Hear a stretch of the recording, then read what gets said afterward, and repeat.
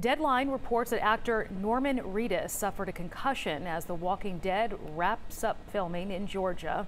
According to multiple reports, quoting the actor's spokesman, he was hurt on set and is doing okay. The series wrap has now been pushed by a few days. He plays Daryl Dixon since the start of the series and will continue to play the character in a spinoff.